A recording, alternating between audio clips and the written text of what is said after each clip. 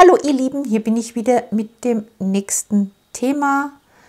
Ich wünsche euch zunächst noch ein gutes neues Jahr, vor allem natürlich im Hinblick auf die Gesundheit und die Hoffnung, dass der Covid-Wahnsinn bald vorbei sein möge.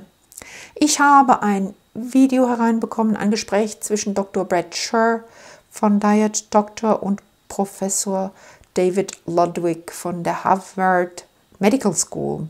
Dr. Ludwig ist Kinderarzt und Ernährungswissenschaftler. Er arbeitet als Professor an der Harvard Medical School und der Harvard School of Public Health. Seine internationale Anerkennung verdankt er seinen Veröffentlichungen zum Thema Fettleibigkeit und ihren Ursachen. Wir hören seit Jahrzehnten, dass alle Kalorien gleich sind, egal woher sie kommen. Kalorien rein, Kalorien raus ist das Mantra. Wenn du mehr isst, als dein Körper braucht, nimmst du zu.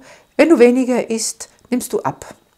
Ignoriert wird dabei, dass die Nahrung unabhängig von den Kalorien unsere Hormone, den Stoffwechsel und sogar die Gene beeinflusst und dadurch einen großen Einfluss auf Dinge wie Fettleibigkeit und das Risiko an Diabetes zu erkranken hat oder auch an Herzkrankheiten und sogar Krebs. Und dies völlig unabhängig von eventuellem Übergewicht. Vor dem Zweiten Weltkrieg waren die deutschen und österreichischen Experten sich auf diesem Gebiet der, dem Einfluss der Hormone bewusst. Aber nach Kriegsende war dann auf einmal alles anders. Die USA rekrutierten mit der Operation Overcast ab 1945 deutsche Wissenschaftler und Techniker, um sich deren militärtechnisches Können und Wissen zu sichern. Am medizinischen Fachwissen hatten sie kein Interesse und so wurde das alte Wissen von der neuen amerikanischen Elite begraben und das Rad sozusagen neu erfunden.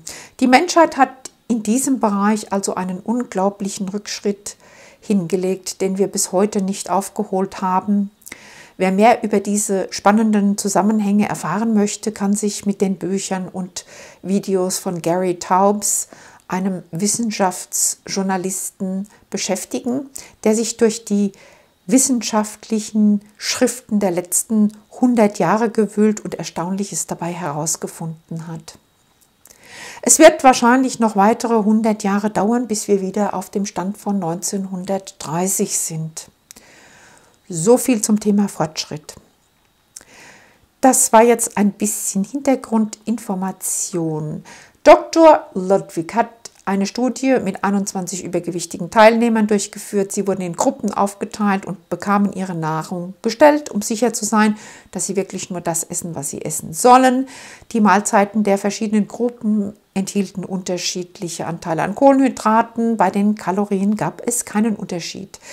Das Ergebnis war, dass die Gruppe mit dem niedrigsten Kohlenhydratanteil in der Nahrung einen deutlich aktiveren Stoffwechsel im Ruhezustand hatte als die anderen beiden Gruppen. In Kalorien ausgedrückt würde das bedeuten, dass sie ca. 325 Kalorien pro Tag mehr verbrannten als die anderen Gruppen. Eine Kalorie ist demnach nicht einfach eine Kalorie und es ist auch nicht egal, woher die Kalorie kommt. Die Art der Nahrung beeinflusst in der Tat den Stoffwechsel. Studien dieser Art gibt es einige. Aber keiner hat es bisher geschafft, die sogenannte Expertenmeinung zu beeinflussen, die ihrerseits von der Nahrungsmittel- und Pharmaindustrie beeinflusst wird. Und das sagt eigentlich schon alles. Die offiziellen Empfehlungen kleben genauso am Althergebrachten wie die Behandlungsmethoden in Krankenhäusern und Kliniken. Was uns gepredigt wird, ist Kalorien rein gegenüber Kalorien raus, weniger essen, mehr bewegen. No? Wenn du dich mehr bewegst, kannst du essen, was du willst. Jo, eine Kalorie ist eine Kalorie und der Körper geht mit allen Kalorien gleich um. Nö, tut er nicht. Dr. Ludwig hat das sogenannte Kohlenhydrat-Insulin-Modell entwickelt. Es geht dabei natürlich um viel mehr als nur um einen Makronährstoff und ein Hormon, aber er musste dem Ding einen Namen, einen Namen geben und deswegen heißt das Kohlenhydrat-Insulin-Modell. Seine Überzeugung ist, dass wir schon lange alles falsch herum haben und dass die Aussage, Übergewicht entstehe ausschließlich durch zu viel Nahrung und zu wenig Bewegung zu kurz gesprungen ist. Seiner Meinung nach ist es, wie gesagt, andersrum. Nicht zu viel Essen macht dick, sondern das Körperfett, das bereits vorhandene Körperfett sorgt mit vielen Mechanismen dafür, dass wir weiter zu viel essen. Körperfett ist ein selbstständiges Organ, das nicht nur seinen eigenen Stoffwechsel hat, sondern in der Lage ist, den Stoffwechsel anderer Organe oder beziehungsweise des gesamten Körpers zu beeinflussen. Dies lässt sich am Beispiel einer Schwangerschaft verständlich machen.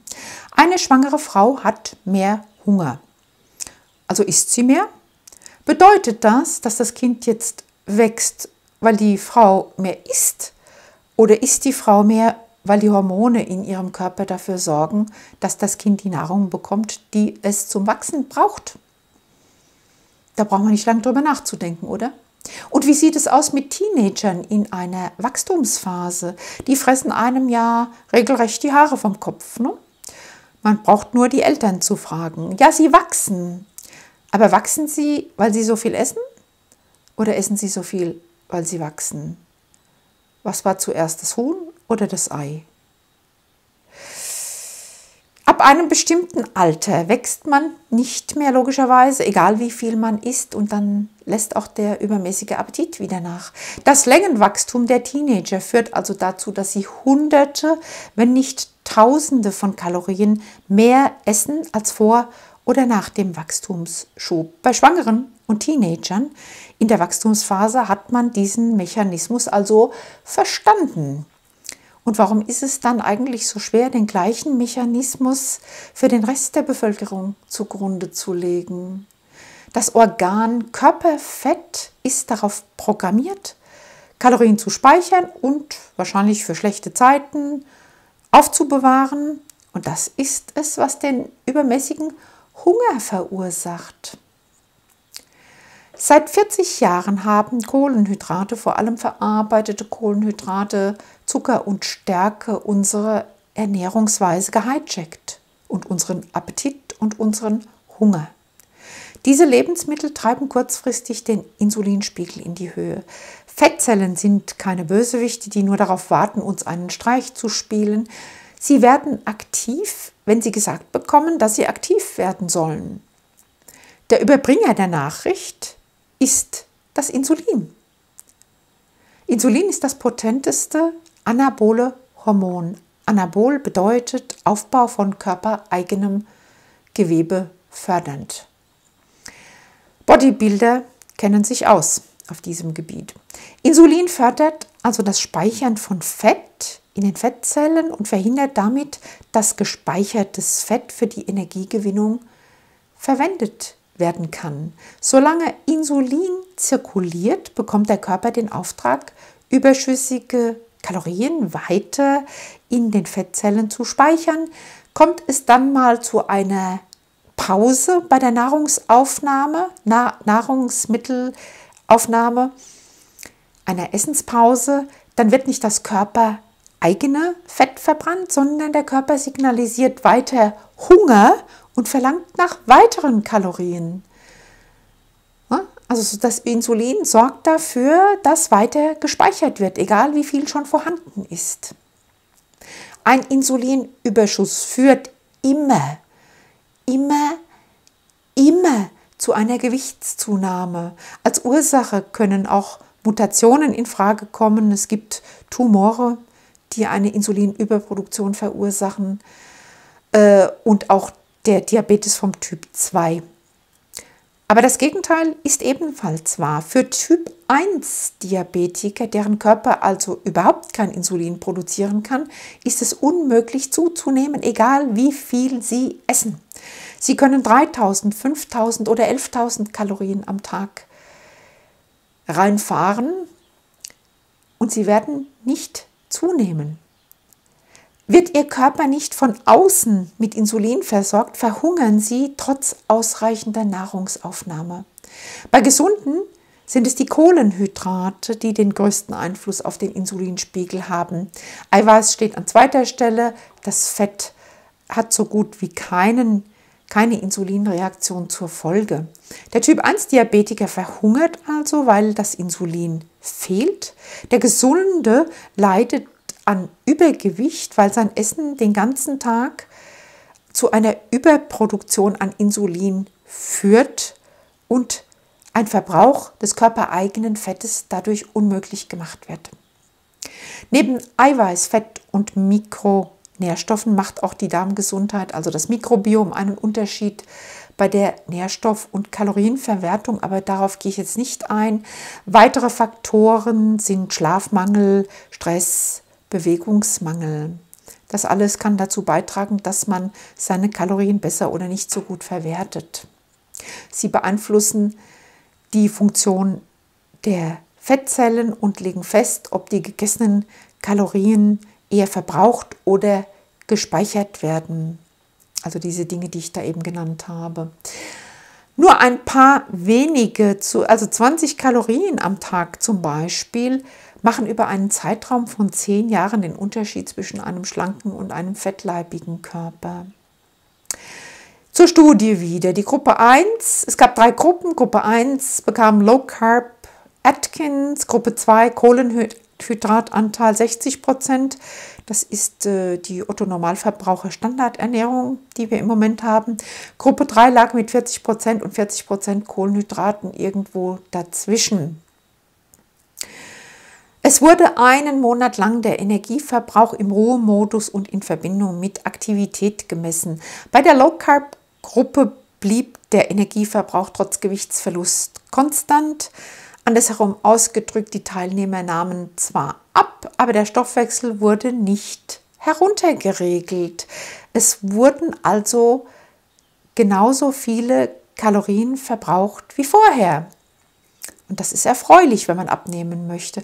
Bei einer normalen Diät, die nach dem Schema Kalorienreduktion funktioniert, wird der Stoffwechsel nämlich bei Gewichtsverlust ebenfalls heruntergeregelt und im Laufe der Zeit wird das Abnehmen immer schwieriger, ne, weil wenn auch weniger verbraucht wird, dann gleicht sich das wieder aus.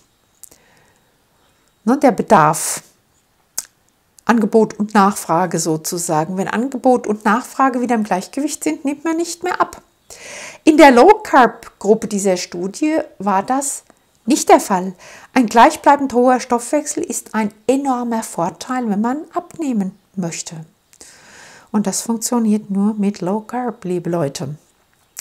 In der Gruppe mit dem höchsten Kohlenhydratanteil in der Nahrung reduzierte sich der Verbrauch um bis zu 400 Kalorien pro Tag. Das macht langfristig einen Unterschied von 10, 15, 20, 25 Kilo.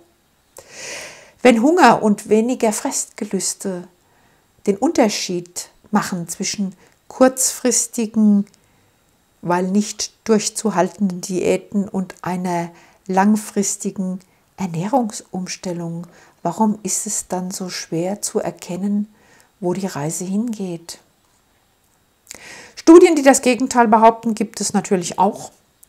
Aber fast alle dieser Studien liefen über einen sehr kurzen Zeitraum von maximal zwei Wochen. Und was dabei systematisch übersehen wird, ist, dass man für eine erfolgreiche Ernährungsumstellung in Richtung Low Carb eine gewisse Anpassungszeit benötigt. Am Anfang nach der Umstellung, die von Mensch zu Mensch unterschiedlich lang ist, gibt es nach zwei Wochen keine Kohlenhydrate mehr, die das Gehirn versorgen könnten. Aber der Körper, der noch nicht komplett auf Fettverbrennung umgestellt hat, produziert in dieser Phase noch keine Ketonkörper. Also das ist so so ein bisschen Niemandsland, kann man sagen. Es ist gleichgültig, ob man seine Ernährung auf Low Carb umstellt oder komplett fastet. Der Körper braucht bei beiden immer ein paar Wochen, bevor sich der Stoffwechsel auf die Fettverbrennung eingestellt hat und man auf die Kohlenhydrate ohne körperliche Symptome, sage ich mal, verzichten kann. Dr. Ludwigs Studie lief über einen Monat. Das ist besser als zwei Wochen auf jeden Fall, aber immer noch zu kurz eigentlich. Trotzdem ermöglichte sie schon einen besseren Einblick als Studien, die eben nur über die Hälfte der Zeit laufen. Direkt nach der Ernährungsumstellung fühlt man sich müde, schlapp, energielos und körperlich und mental nicht auf der Höhe. Das nennt man Keto-Flu, die Keto-Grippe. Da fühlt man sich wirklich krank. Studien, die in dieser Umstellungsphase stattfinden, sind deshalb nur sehr begrenzt aussagekräftig. Als Vergleich könnte man sich eine Studie über Sport mit übergewichtigen Durchschnittsbürgern vorstellen, die normalerweise den ganzen Tag auf ihrem Hintern sitzen und Fernsehen. Sie haben vielleicht seit Jahren oder Jahrzehnten nichts gemacht, sich nicht bewegt und sollen auf einmal sechs Stunden am Tag intensiv Sport treiben, wie man das von dem Biggest Loser kennt. Würde man diese Menschen nach ein paar Tagen untersuchen, käme man unweigerlich zu dem Schluss, dass sie sich überhaupt nicht gut fühlen und auch nicht wissen, was an dieser Aktion gut gewesen sein soll. Sie sind müde, haben Muskelkater und ihre Motivation liegt bei Null. Ein derart intensives Trainingsprogramm setzt die Leistungsfähigkeit eher herab, als dass sie sie verbessert. Diejenigen Studien, die über eine längere Zeit laufen, brachten für die Low-Carb-Ernährung gute bis sehr gute Ergebnisse. Bis die Menschheit erkannt hat, auf was es ankommt, müssen wir uns mit Studien behelfen, die aus einer Person bestehen, n equals one. Das sind die meisten im Moment. Es gibt Tausende, wenn nicht Zehntausende davon, wo einfach eine Person ihre Ernährung umstellt und sich anschaut, was dabei herauskommt.